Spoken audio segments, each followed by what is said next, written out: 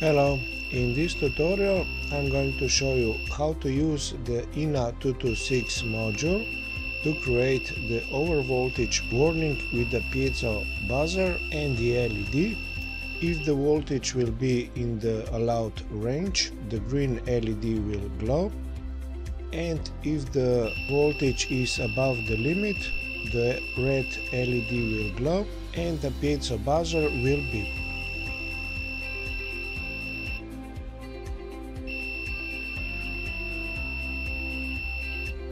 This project is brought to you by PCBWay. What I really like about them is that you can get 10 professional made boards for around $5 which is really amazing for professionally made boards.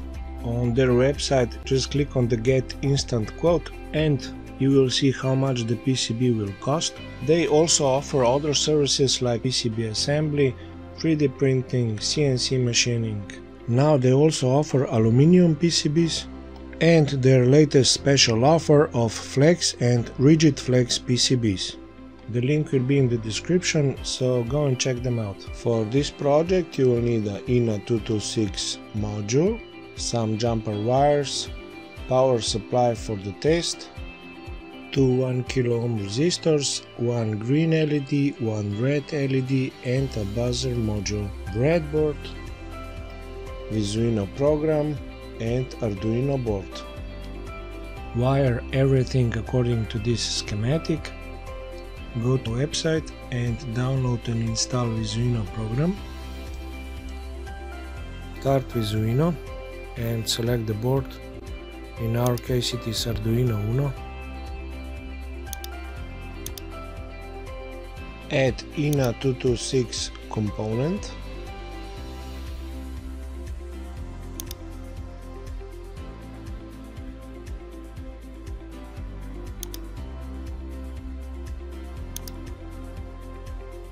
and in the properties window expand alerts, limit bus voltage and set the above to true. This means that we are going to get the warning if the voltage is above.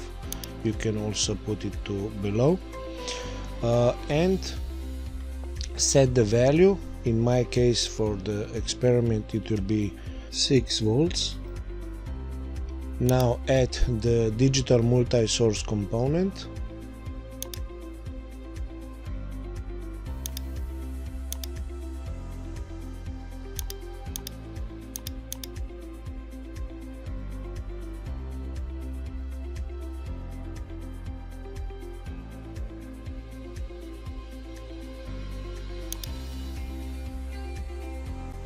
and in the properties window set output pins to 3 now also add the inverter component.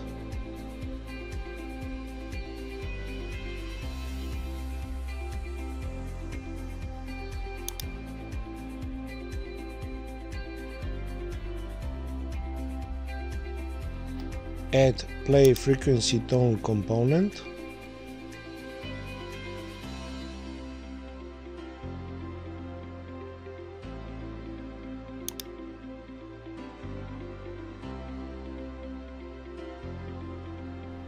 double click on the play frequency 1 and in the elements window drag play tone state to the left side and in the properties window set frequency to 20 and close the elements window.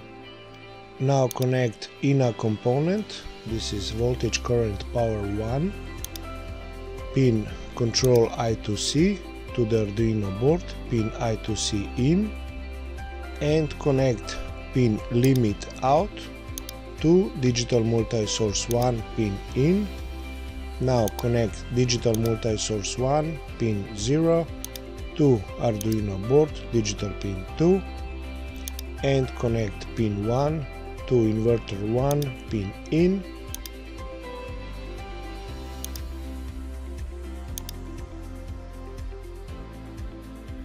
and connect digital multi-source 1, pin 2, 2 play frequency 1, play tone state 1 pin in and connect inverter 1 pin out to Arduino board digital pin 3 and connect play frequency 1 pin out to Arduino board digital pin 4.